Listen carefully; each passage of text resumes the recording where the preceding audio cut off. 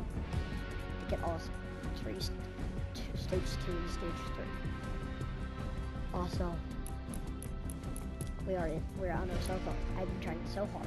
I just had to do one chest. Next thing I know, I found a key.